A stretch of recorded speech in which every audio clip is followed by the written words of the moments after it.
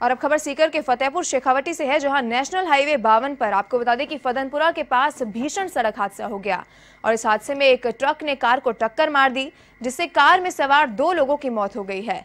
मृतक जयपुर के फागी के निवासी हैं, जो कुल्लू मनाली घूमकर जयपुर की तरफ़ लौट रहे थे।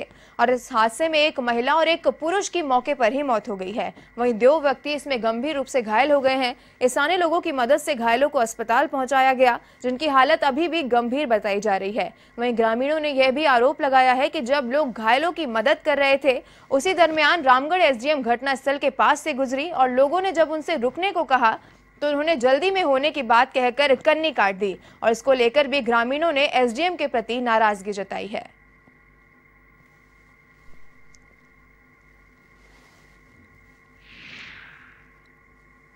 ये एक्सीडेंट करीबन पौने छः बजे करीबन हमारे यहाँ पे हुआ। हमारे इस रामगढ़ी इलाके में, विजयनाथ जी का आश्रम के पास में। और हमने पुलिस को इतला कर दी तो पुलिस पंद्रह बीस मिनट बाद आ गई है। और एक सौ आठ भी आ गई उस हमने उनको घायलों को भेज दिया।